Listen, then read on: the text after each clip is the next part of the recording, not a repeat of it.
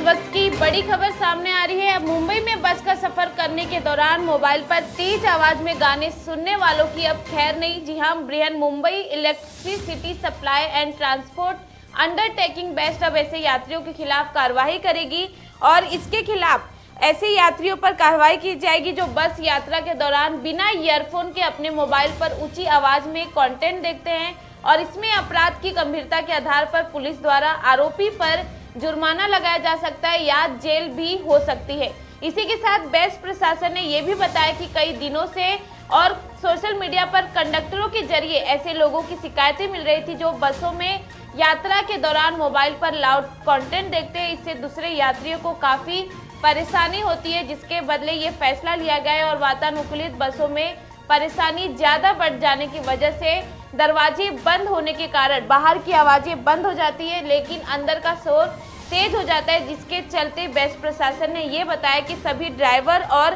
Conductors को इस नए नियम की जानकारी दी जा रही है और बसों में नियम पालन के लिए दिशा निर्देश लागू किए गए हैं। जो लोग नियम तोड़ते हैं, उनके खिलाफ बॉम्बे पुलिस एक्ट के सेक्शन 38 और 112 के तहत कार्रवाई की जाएगी और इस सेक्शन के तहत सार्वजनिक स्थान पर बिना अनुमति के लाउड म्यूज़िक बजाने या आवाज़ करने और दूसरों की शांति भंग करने पर कार्रवाई की जाएगी और इसमें पुलिस बारह सौ रूपए से पाँच हज़ार रूपए तक का जुर्माना भी लगा सकती है या तीन महीने की जेल भी हो सकती है।